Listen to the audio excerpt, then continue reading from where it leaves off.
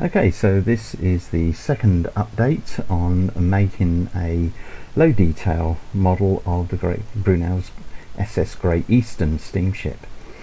And this is where I've got to so far, um, having had quite a few uh, problems, well not so much problems as just sort of false starts, especially with the uh, paddle wheel boxes.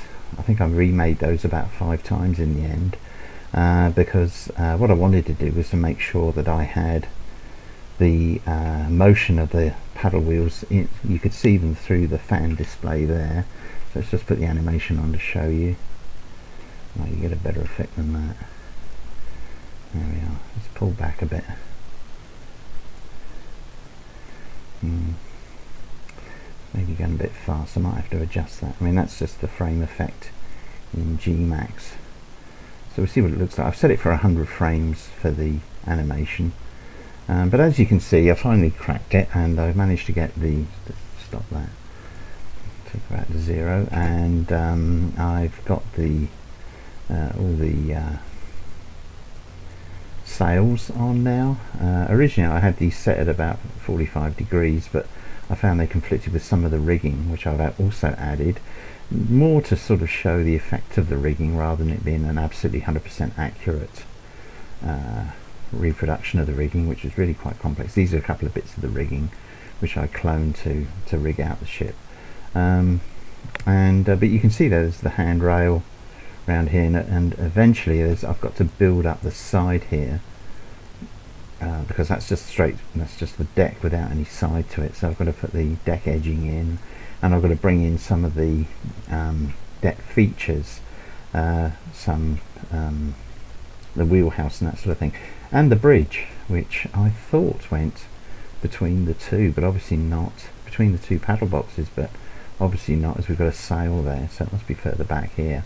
Anyway the bridge is open to the sky. It's just it's just literally that just a like a, a bridge a um, crosspiece uh, completely open in order to keep the steersman awake apparently. That's what they did in the Victorian period. You can see there that the rigging is now coming on quite nicely. Um, I, again, I've simplified it a bit just to keep the polys down, especially these these part of the rat lines for running up and setting the sails. And I've also simplified uh, the rigging for these sort of catch type sails here uh, that come in, and um, but the, the, the engine chimneys are correct.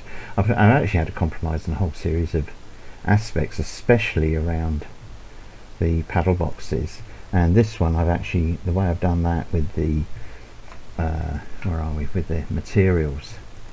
Here we are, I've actually got um, two different types. I've actually using my frames there my frames material um, because uh, that's actually in two parts or it's actually in more than two parts now. It's it's one two uh, three four five uh, it's about eight parts um, all of these curves and they all had to match up precisely and getting those those um, that fan which is it's not semicircular it's a semicircle but it's compressed down on the vertical axis. So that took quite a bit of doing just to get that the proportions right. And so basically what I've aimed to do is just to get the look of it right. And the plans which I've been using well they vary along with looking at the photographs and the drawings and the paintings there's not one that's really consistent so this is going to be a best effort. Um, the the propeller is nothing well I mean, it's a bit like Brunel's but you know it's a very low poly effort there so I've just twisted got almost, it's almost like a sort of a quadrant shape which I then twisted in two, two of the dimensions in order to give it that 3D um, but, but we're getting there. Well I'm getting there rather. I'm not going to worry about portholes I think they're going to be too far away. You're going to always be too far away to see that uh, I've got to do something at the rear, at the stern of the ship. Uh, the, the name goes here, That's Great Eastern, but also uh, on some of the early images there's quite a lot of sort of um, you know that, that, that, sort of decoration that these ships had in the sort of high Victorian period and at the front here I've got to bring in there's a there's a, quite a few details that I need to bring in there to make it look right uh, the anchors um, and the anchor chain shafts and that that ran through the, the bows of the ship there. Um, so around the stern here is going to be, as I say, straight, pretty straightforward, just the name. But as I say, there's still the deck housing. There's deck um, uh, buildings to put in there and uh, they'll take a while to put together. What I'm aiming to do is just do simple boxes and to carry the detail on the texture to bring in another texture but as you can see so far I've managed to keep the textures down uh, to only just four and um, these are just for the those are just the plans uh, which I'll lose. And um, so it's maybe there's going to be let me see there'll be one texture for the anchors because they'll just be painted on the side. Uh, what else? And there'll be a texture for the uh, building the, the structures the cabins on the or the structures on deck. I hesitate to call them cabins. Everything seemed to happen down inside the hull so at the moment uh, with everything there um, what's the poly count? 9629 so I'm over the budget a bit but um, what I'm going to do is obviously I've got to strip this out for the bogey so this all of this on both sides is going to be one bogey. So that will take out quite a lot of the polys. I mean if I look at that that's the group of the um, just the paddle wheel it's uh, alone is 1740 so that's um, three and a half thousand polys so that will bring the main structure without with those as the bogey that'll be reduced from the main structure. And even then I might bring the paddle boxes in. You can see 282 there. Oh, it's just it's just 28 but 16 I mean there's there are some so that's 282 on the top front yeah 379 so, so together on both sides there's another thousand polys I might put those into the bogey because I think if I can get the bogey up to about 5,000 polys there and the propeller bogey will be a very small one um, then it means it won't cause too much of a problem for the graphics in Trainz to load this up. As always, it's a compromise, and Great Eastern's going to be a compromise like any other. Uh, I've still got to bring in, oh yeah, that's another aspect, isn't it? I've got to bring in a, I think it is, um, I think there's five or six lifeboats on each side at the front and four or five at the back. Those will be a separate model which I shall just um, use as, I should just put attachment points here for those uh, when I get them up to the size that I need and I'll just be using a very basic model of a lifeboat or a rowing boat which I've used I've used before in fact it's the one I use at the that's um, hanging off the back of the off the um, stern of the schooners which I've put online. So there we are. That's how far I've got with that. There's still a lot to do. Um, but I think it's worth sticking with it. And um, although it sort of slowed me down making other models such as um, ketches and, and uh, all the rest of it, uh, I think it's going to be worth it.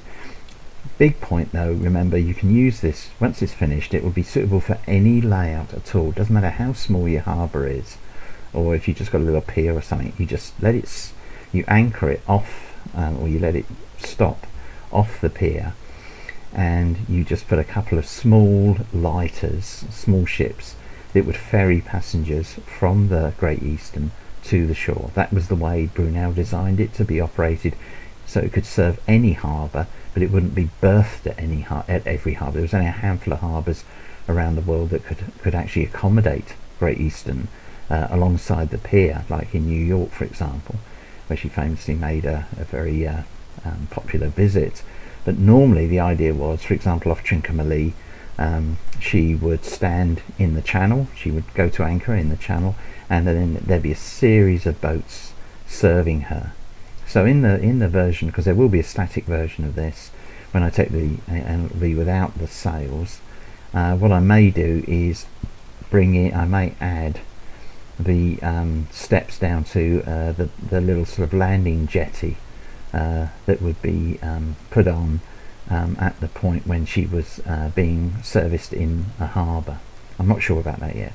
Uh, I was sort of keep checking around the idea of making the one of the lighters that Brunel designed her to carry, so that she would carry her own uh, service down to the back to the shore wherever she uh, wherever she anchored. But I've not found any plans, and if anybody comes across any plans, uh, my details, my emails on this um, web channel, will just post a uh, comment saying you've got plans with you, uh, and and just go to my um, uh, website and you'll find my email there. Just email me to say you got the plans and uh, I'd be very grateful for them. But I, I've never seen them. I've never seen mean, I've got several books on Brunel including some some really you know really uh, really substantial volume unless the more recent volume about the Great Eastern has, you know, whoever uh, I can't remember who wrote it now. Um, it's on Amazon for about 50 quid. If if anybody's got that and there are plans in there, I wouldn't mind a photocopy, uh, just of those plans, just to give me an idea of what the lighters were meant to look like. Because if if nothing else, they would be quite handy as ships for uh, elsewhere in Trainz. But there you go. She is going to run in train. She is on her way. Um, hopefully not taking quite as long as the original. Um, I can't see her being finished completely before the end of February 2019 but she's you know a few weeks away now I think uh, once she's been tested out by my Bob the beta tester brilliant Bob the beta tester. And um, and there we are. So I hope you've enjoyed this update. This is update number two and uh, look out for her being released uh, on my website. It'll only be on my website, but I'll, I'll put a, um, a video on YouTube. And if you've enjoyed looking at this, uh, my effort to recreate the Great Eastern, this video, then please give me a thumbs up. Uh, please leave a comment if you want to, good, bad or indifferent, whatever you like, I don't mind. Um, and please subscribe to my channel. Uh, it doesn't cost anything, it, it doesn't commit you to anything. Um, I don't know who you are, and um, but it just it's just a boost, really. It's a sort of a, you know morale boosting thing that people are actually looking at the stuff and finding it of interest. So there we are. There's the Great Eastern on her way, sailing into a harbour near you before too long.